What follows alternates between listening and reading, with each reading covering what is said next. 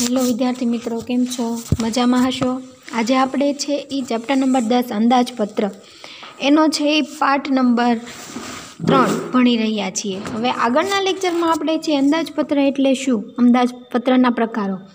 તો અંદાજપત્ર છે, એના ટોટલ બે પ્રકારો હતા. સમતોલ અંદાજપત્ર અને અસમતોલ અંદાજપત્ર. પછી અંદાજપત્ર એટલે શું? એની વ્યાખ્યા છે, તમારે ખાસ યાદ રાખવાની હતી, જે આપણે અંદાજપત્રનો અર્થ ભણ્યા હતા. કે સરકાર દ્વારા આવનારા નાણાકીય વર્ષ માટે રજૂ કરવામાં આવનાર ખર્ચ અને આવકના અંદાજોના હિસાબપત્રને અંદાજપત્ર કહેવામાં આવે છે. એટલે કે છે એ ભવિષ્ય માટે છે નાણાકીય અંદાજો રજૂ કરવામાં આવે છે. એના બે પ્રકાર હતા, સમતોલ અંદાજપત્ર અને અસમતોલ અંદાજપત્ર. એમાં સમતોલ અંદાજપત્ર વિશે આપણે અભ્યાસ કર્યો હતો જેમાં આવક અને ખર્ચ એ બંનેના અંદાજ સરખા હોય એને આપણે સમતોલ અંદાજપત્ર કહેતા હતા. અને અસમતોલ અંદાજપત્રમાં જેના આવક અને ખર્ચ છે એ સમતોલ ન હોય. એમાં પાછા એના બે પેટા પ્રકાર પડતા હતા. ખર્ચ એક ખાધવાળું અંદાજપત્ર અને એક પુરાતવાળું અંદાજપત્ર. તેમાં ખાધવાળા અંદાજપત્રમાં શું હોય કે જ્યારે સરકાર છે એ અંદાજિત ખર્ચ એ સરકારની અંદાજિત આવક કરતાં વધી જાય. એટલે કે સરકાર જે ખર્ચ કરવા માગે છે એની કરતાં એની આવક શું થાય છે? વધી જાય. એને આપણે ખાધવાળું અંદાજપત્ર તરીકે ઓળખતા હતા. અને જ્યારે પુરાતવાળું અંદાજપત્ર, કે જેમાં છે સરકારનો ખર્ચ અને જ્યારે અંદાજિત આવક છે, એ કેવી હોય? વધારે હોય. એટલે કે ખર્ચ કરતાં આવક વધી જાય અને ઓલામાં ખાધવાળામાં આવક કરતાં ખર્ચ વધી જાય, જેને આપણે છે પુરાતવાળું અંદાજપત્ર તરીકે ઓળખીએ છીએ. એના ફાયદાઓ, ગેરફાયદાઓ એના વિશે આપણે આગળના લેક્ચરમાં અભ્યાસ કરી ગયા. હવે આજે આપણે છે અંદાજપત્રમાં કયા કયા ખાતાઓ છે એનો સમાવેશ થાય છે એના વિશે અભ્યાસ કરવા જઈ રહ્યા. અંદાજપત્રની સમજૂતી મેળવવા માટે વિવિધ ખાતાઓની સમજૂતી મેળવવી જરૂરી છે. એકાઉન્ટની રીતે અંદાજપત્રના હિસાબીના મુખ્ય બે ખાતા હોય. જમા બાજુ, જ્યાં રાજ્યની આવકો નોંધાય, અને ખર્ચ બાજુ, જ્યાં રાજ્યના ખર્ચ નોંધાય છે. એટલે કે તમે છે, એ એકાઉન્ટમાં જે આપણે ઝાઝા ભાગે જમા ઉધારની નોંધ કરવાની હોય છે. તો આવક અને ખર્ચની બંને બાજુઓના પાસા નીચે મુજબ છે. એમાં પહેલું આપણને જો દેખાય છે, આવક બાજુ. એટલે કે અંદાજપત્રની આવક બાજુના બે ભાગ પાડી શકાય છે. એક છે મહેસૂલી આવક અને એક છે મૂડી આવક.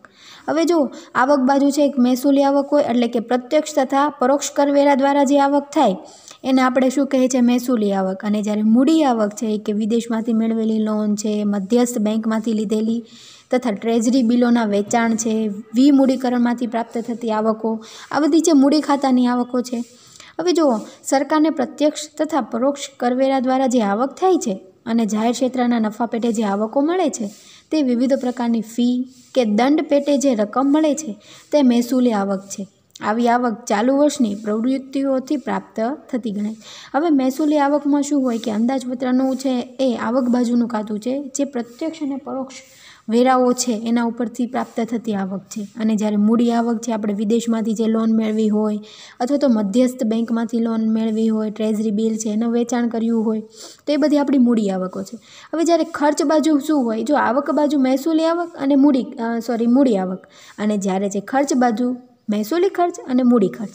એટલે કે સરકાર છે વિવિધ જાહેર સેવાઓ પાછળ જે ખર્ચ કરે છે, જેમ કે કર્મચારીઓને પગાર ભથ્થા ચૂકવવા, રાજ્યોને મદદ કરવી, સંરક્ષણ, સબસિડી વગેરે માટેનો ખર્ચ છે તેને શું કહેવાય? મહેસૂલી ખર્ચ. એની નીચે છે એ લાઈન કરજો કે મહેસૂલી ખર્ચ કોને કહેવાય? તો મહેસૂલી ખર્ચ એટલે શું થાય કે સરકાર છે એ જે વિવિધ ખર્ચ પાછળ સેવાઓ, જાહેર સેવાઓ એટલે કે જાહેર જનતા માટે જે ખર્ચ કરે છે, એટલે કે કર્મચારીઓના છે, એ પગાર છે ભથ્થા છે, એ ચૂકવવા રાજ્યોને મદદ કરવી, એટલે કે રાજ્યને છે મદદ કરવા માટે જે સરકાર ખર્ચ કરે છે, એને મહેસૂલી ખર્ચ કહેવાય પછી રાજ્યના સંરક્ષણ માટે છે સબસિડી આપવી. એનું શું કહેવાય છે? મહેસૂલી ખર્ચ. જ્યારે મૂડી ખર્ચ, એટલે કે સરકારના દેવાની ચૂકવણીઓ થાય છે, જે રાજ્ય સરકાર છે અન્યને કરજ આપે અને સામાજિક તથા સંરક્ષણ ક્ષેત્રે છે મૂડી ખર્ચ કરે તેને શું કહેવાય છે? મૂડી ખાતાનો ખર્ચ તરીકે ઓળખવામાં આવે છે. એટલે કે સરકાર છે, પોતે લીધેલી લોન છે, એની ચૂકવણી કરશે. તો એ પાછો એક પ્રકારનો સરકારનો શું થયો? મૂડી ખર્ચ. હવે આમ, અંદાજપત્રને બે ખાતામાં વહેંચી શકાય. મહેસૂલી ખાતું, જ્યાં મહેસૂલી આવક અને મહેસૂલી ખર્ચની નોંધણી થાય છે. અને મૂડી ખાતું, જ્યાં મૂડી આવક અને મૂડી ખર્ચને નોંધવામાં આવે છે. હવે જુઓ, ભારતના જે વિવિધ સ્તરના સરકારો છે એનું મહેસૂલી ખર્ચ છે, એના અંદાજપત્રનો ખ્યાલ કઈ રીતના આવે કે ભારતમાં છે એ વિવિધ સ્તર છે, રાજ્ય છે, કેન્દ્ર છે, કેન્દ્ર સરકાર, રાજ્ય સરકાર, એ પોતાનું અંદાજપત્ર છે અલગ અલગ રીતે બનાવતા હોય ને, તો એ રીતના છે તમારે ખાસ યાદ રાખવાનું છે કે અંદાજપત્રના છે એ ટોટલ બે ખાતાઓ છે, કયા? તો સૌ તો આવક બાજુ અને ખર્ચ બાજુ, પાછા આવક બાજુના બે પ્રકારો પડે છે, મહેસૂલી આવક અને મૂડી આવક. પછી પાછા ખર્ચ બાજુના મહેસૂલી ખર્ચ અને મૂડી ખર્ચ. તો આ તમારે પ્રકારો ખાસ યાદ રાખવાના છે. હવે પછીનો આપણો ટોપિક છે એ આપણે ભણીએ કે ભારતના વિવિધ સ્તરની એટલે કે કેન્દ્ર અને રાજ્ય સરકાર છે, એના અંદાજપત્ર છે કઈ રીતના હોય, કઈ રીતના બનાવે છે, એના વિશે આપણે અભ્યાસ કરવાનો છે. હવે ભારતીય સમવાય ત્રિસ્તરીય માટે, સ્ત્રી ત્રિસ્તરીય છે. માટે હવે આપણે આ ત્રણેય કેન્દ્ર, રાજ્ય અને સ્થાનિક સ્વરાજ્યની સંસ્થાના છે અંદાજપત્રનો ખ્યાલ મેળવશું. એટલે કે ભારતમાં છે આપણે જોઈએ છીએ, કેન્દ્ર છે, એનું અંદાજપત્ર અલગ હોય. એટલે કે આખા દેશનું જે બહાર પાડવામાં આવે છે, પછી રાજ્ય સરકારનું. જે પોતાના રાજ્ય સ્વરૂપ, રાજ્યના પ્રમાણ બદલ અલગ અલગ હોય અને સ્થાનિક સ્વરાજ્યની સંસ્થાઓ, જે શહેરો છે, એનું પણ અલગ હોય. તો પહેલું તો આપણે જોઈએ કેન્દ્ર સરકારના અંદાજપત્રનો ખ્યાલ મેળવીએ. ભારતમાં કેન્દ્ર સરકાર વતી દેશના નાણામંત્રી આવનાર નાણાકીય વર્ષમાં થનારા ખર્ચ અને આવકોના અંદાજ લોકસભામાં રજૂ કરે છે. એટલે કે ભારતમાં છે, કેન્દ્ર સરકાર વતી શું થાય છે? દેશના નાણામંત્રી છે. ભારતમાં કેન્દ્ર સરકાર વતી નાણામંત્રી આવનારા નાણાકીય વર્ષમાં થનાર ખર્ચ અને આવકના અંદાજો રજૂ કરે છે. હવે જો લોકસભામાં છે કેન્દ્ર સરકારનું છે, એ બજેટ છે, કોણ રજૂ કરે છે? નાણામંત્રી છે, અંદાજપત્ર છે, એની રજૂઆત કરે છે. મોટે ભાગે ફેબ્રુઆરી માસની અંતિમ તારીખે રજૂ કરવામાં આવે છે અને માર્ચ મહિનાના દરમિયાન સંસદ તેના પર ચર્ચા વિચારણા કર્યા બાદ જ તેને મંજૂર કરે છે. હવે જો તમે બજેટ છે, અંદાજપત્ર ક્યારેક પણ છે, ન્યૂઝમાં સાંભળ્યું હશે કે આપણું અંદાજપત્ર છે એ આટલા કરોડનું છે, આટલા કેન્દ્ર સરકારે રજૂ કર્યું છે, તો આટલા સમય માટે છે, આટલા કરોડનો અંદાજ લગાવ્યો છે, આટલી યોજનાઓ માટે. આવું બધું તમે સાંભળ્યું છે કે આપણો ખર્ચ આટલો છે, આપણી આવક આટલી છે, આયાત નિકાસમાં આપણે આટલું રોકાણ કરવાના છે. આ બધું છે, જ્યારે પણ અંદાજપત્ર છે એ રજૂ કરવામાં આવે છે ત્યારે આ બધી માહિતી છે બહાર પાડવામાં આવે છે. અને તમારે ખાસ યાદ રાખવાનું છે કે ફેબ્રુઆરી માસ છે, એની અંતિમ તારીખે છે એ રજૂ કરવામાં આવે છે. અંદાજપત્ર છે આપણું ક્યારે રજૂ કરવામાં આવે છે? ફેબ્રુઆરીના એન્ડમાં. અને જ્યારે માર્ચ મહિના દરમિયાન શું કરે, એની ઉપર ચર્ચા વિચારણા કરે અને એક એપ્રિલથી એટલે કે આપણું નાણાકીય વર્ષ છે, તમે એકાઉન્ટમાં ભણતા હશો, આપણું નાણાકીય વર્ષ એક એપ્રિલથી શરૂ થાય છે. અને માર્ચમાં છે એ પૂરું થાય છે. એટલે કે આપણું નાણાકીય વર્ષ છે એપ્રિલમાં, એપ્રિલથી માર્ચ સુધી છે એ ગણાય છે. એટલે માટે તમારે એક એક માર્કનો એમસીક્યુ બની જાય કે આપણું અંદાજપત્ર છે એ કોના દ્વારા રજૂ કરવામાં આવે છે? તો કેન્દ્ર સરકારનું અંદાજપત્ર એ નાણાકીય મંત્રી દ્વારા. અને જ્યારે ક્યારે રજૂ કરવામાં આવે છે? તો ફેબ્રુઆરી માસની અંતિમ તારીખે છે આપણું બજેટ રજૂ થાય છે. અને જ્યારે માર્ચમાં છે, એની ઉપર ચર્ચા વિચારણા કરે અને એપ્રિલમાં છે એનો છે અમલ કરવામાં આવે છે, એટલે કે અગાઉની વિચારણા કરવામાં આવે છે. આપણે છે આપણું અંદાજપત્ર જ્યારે પણ બહાર પડે છે, ત્યારે નાણામંત્રી છે, એની ચર્ચા વિચારણા વિષયક છે આપણને લોકસભામાં માહિતી આપતા હોય છે. તમે અહીંયા જોઈ શકો છો, કેન્દ્ર સરકારના અંદાજપત્રની મહત્ત્વની વિગતો છે. તમે તમારી બુક્સ છે, એ પણ ઓપન રાખો તો એમાં તમને સરળતા રહેશે. હવે મહેસૂલી ખાતું. જો તમને મહેસૂલી ખાતામાં આવક અને ખર્ચ દેખાય છે, જમા અને ઉધાર બાજુ દેખાય છે, આપણે જે નફા નુકસાન ખાતામાં કરીએ છીએ, એ જ છે આવક અને જમા બાજુ. જુઓ તમને એમાં પહેલાંમાં છે કર આવક છે, એટલે કે પ્રત્યક્ષ અને પરોક્ષ વેરાથી થતી આવક છે, પછી બિનઆયોજિત ખર્ચ, એટલે કે જે આપણે અંદાજપત્રમાં છે, એ ધાર્યા ન હોય અને એવા બિનઆયોજિત ખર્ચ છે આવી શકે છે. એટલા માટે વ્યાજની ચૂકવણી છે.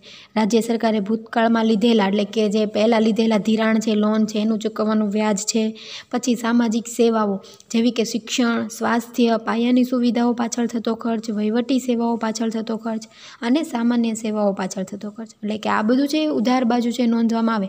સ્વાભાવિક રીતે છે કે આપણે એકાઉન્ટમાં છે એ જોઈએ છે કે ખર્ચાઓ છે બધા ઉધાર બાજુની એની નોંધ કરતા હોય છે. આર્થિક સેવાઓ છે, ખેતી, ઉદ્યોગ, વીજળી, વાહન વ્યવહાર ટેકનોલોજી પાછળ થતો ખર્ચ છે. રાજ્ય સરકાર અને કેન્દ્ર શાસિત પ્રદેશોને અપાતું અનુદાન છે, સહાય છે. સંરક્ષણ પાછળ થતો ખર્ચ છે એટલે કે આપણી છે એ જે આપણી સુરક્ષા તૈનાત છે બીએસએફ એની પાછળ થતો ખર્ચ છે. સબસિડી છે આપવામાં આવે છે, પેન્શન છે આપવામાં આવે. આ બધા છે આપણા બિનઆયોજિત ખર્ચ છે જે યોજનામાં ન હોય, પણ આ છે એ આપણે સરકારે ચૂકવવાના હોય. પછી કર સિવાયની જમા બાજુ છે, મહેસૂલી આવકમાં કર સિવાયની આવકો. એમાં સરકારે છે એ ધિરાણ આપેલું, એની ઉપર વ્યાજની આવક. એટલે કે સરકારે જે કોઈ પણ કંપની છે, એના દ્વારા એ કંપનીને લોન આપેલી હોય, આરબીઆઈ દ્વારા ગવર્મેન્ટ તો એના પરથી વ્યાજ મળે છે.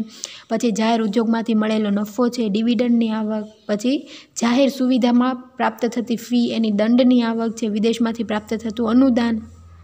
અને જ્યારે ખર્ચમાં, તો ખેતી ઉદ્યોગો આપણા છે, તો સિંચાઈ છે, સૂચના. હવે તમે જાણો છો કે આપણો દેશ છે એ ખેતી પ્રધાન દેશ છે, એટલા માટે ખેતી પાછળ છે એ ખર્ચ કરતો હોય છે, ઉદ્યોગો છે, એના પ્લેટફોર્મને ઉપર લાવવા માટે એની પાછળ ખર્ચ કરે છે, સિંચાઈ માટે ખર્ચ કરે ખનિજ ક્ષેત્ર, વાહન વ્યવહાર પાછળ ખર્ચ કરે. પછી ઉપરાંત કેન્દ્ર અને રાજ્ય સરકાર છે, તો કેન્દ્ર અને રાજ્ય શાસિત પ્રદેશોને અપાતી સહાય. હવે કેન્દ્ર દ્વારા છે, કેન્દ્ર શાસિત પ્રદેશોને છે, સહાય આપે છે. પછી આપણા રાજ્ય સરકારને જોઈએ છે, કે કેન્દ્ર સરકાર દ્વારા છે, રાજ્ય સરકારને સહાયતા કરવામાં આવે છે. જેના દ્વારા છે, એ કેન્દ્ર સરકાર દ્વારા જે અનુદાન આપવામાં આવે છે, એ એક પ્રકારનું છે, કેન્દ્ર સરકારનું છે, બજેટ ગણાય છે.